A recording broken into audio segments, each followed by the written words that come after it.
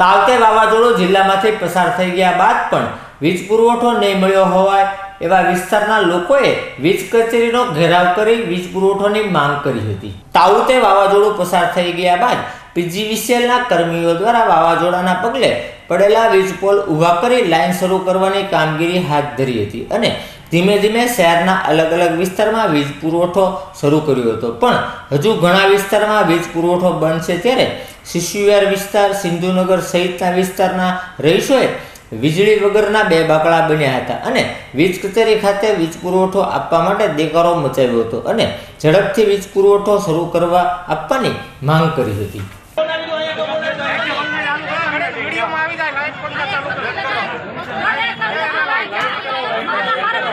એ પંખો બંધ કરી દો પેલા એટલે ગરમી ના ખબર પડે એમાં તમારી જીબીની ઓફિસમાં લાઈટું છે અમારે ના લાઈટું નહીં જોવે અમારા ઘરમાં નાના છોકરા છે અમારા મોરી છે સાહેબને ફોન કર્યા કેટલા વાગ્યાની વાત છે આ ચાર ચાર દિવસ કેવા ચાર દિવસથી છોકરા ના રાખ્યા નાના નાના છોકરા છે બે ઓક્સિજન વાળા છે મારા ઘર આગળ બે પોઝિટિવ કેસ છે એક ભાઈને નવો રોગ લાગેલો છે ડોસીમાને બરાબર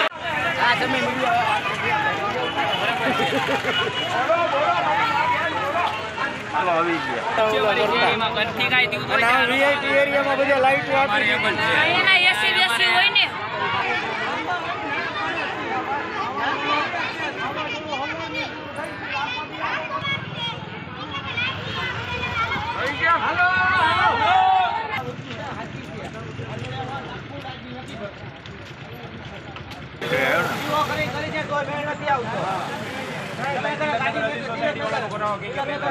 હું જીબીની ઓફિસે આવ્યો છું સવારનો હું ધક્કા ખાઉં છું અહીંયા.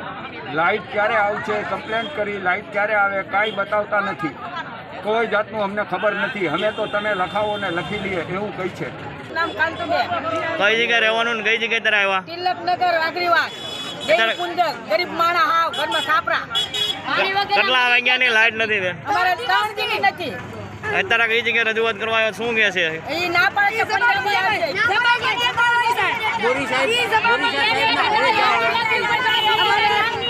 ગામડા પડ્યા નથી કે ઝાડવા પડ્યા નથી. કાંઈ નહીં. અહીંયા અમે લાઈટ માટે આવ્યા છીએ. ત્રણ દિવસથી અમારા ઘરે લાઈટ નથી બોડી ગેટ આવ્યા છીએ અમે. અમારા ઘરે ત્રણ દિવસથી લાઇટ નથી એના નાના બચ્ચાઓ એને શું કરવાનું? એને ક્યાં રાખવાના? તમે અંદર રજૂઆત કીધું તો શું કે કરી તો અમને એમ કીધું કે અહીંયાથી તમને લાઈટ અમે ખાલી જવાબ આપી શકશું અમે તમને બાકી અમે લાઈટ તમને નહીં આપીએ અમને ચોખ્ખો જવાબ આપ્યો ને આંબેવાડી જઈને તમે અરજી કરો તમે ત્યાંથી લાઈટ મળશે. તમારે જવાનું ક્યાં?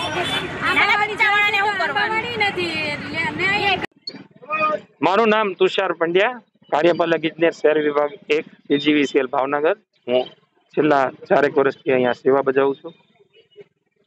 આપણે કોરોના નો જે કઠિન સમય હતો એમાંથી ધીમે ધીમે બહાર આવી રહ્યા હતા. ત્યાં કુદરતની બીજી ઝપાટ આપણને ભાવનગરની પ્રજાને મળી છે. અને સતત વાવાઝોડું પવન અને ભારે વરસાદનો આપણે ભોગ બન્યા છીએ. તેના કારણે અમારી વીજ લાઈનો થાંભલાઓ અને ટ્રાન્સફોર્મરને ઘણું નુકસાન થયું છે અને અમારો વીજ પુરવઠો ખોરવાયો હતો. કાલ ચાર વાગ્યાથી વરસાદ અને પવન બંધ થયો છે. કાલ સાંજે ચાર વાગ્યાથી અમે વીજ પુરવઠો શરૂ કરવાનું શરૂ કર્યું છે. અને અમારા જે પિસ્તાલીસ અર્બન ફીટર બંધ હતા એમાંથી અત્યારે ફક્ત સાત ફીટર જ બંધ છે. બાકીના ફીડરોમાં ઇલેવન કેવી લાઈન શરૂ કરી દીધી છે. વીજ થાંભલાઓ ભારે પવન અને વૃક્ષો પડી જવાથી તૂટી ગયા છે. એટલે એલટી લાઈન ક્રમશઃ પેટ્રોલિંગ કરી અને ટ્રાન્સફોર્મરથી અમે વીજ પુરવઠો આપવાનો પ્રયત્ન શરૂ કર્યો છે. પરિણામે અત્યારે ભાવનગર શહેર વિભાગ એક નીચે સિત્તેરથી પંચોતેર ટકા વીજ ગ્રાહકોને પ્રવાહ મળી ચૂક્યો છે અને બાકીના પચીસ ત્રીસ ટકા જે ગ્રાહકો બાકી છે એનું એલટી પેટ્રોલિંગ કરી અને અકસ્માત ન થાય એની કાળજી રાખી અમે વીજ પુરવઠો આપવા માટે સતત પ્રયત્નશીલ છીએ છીએ.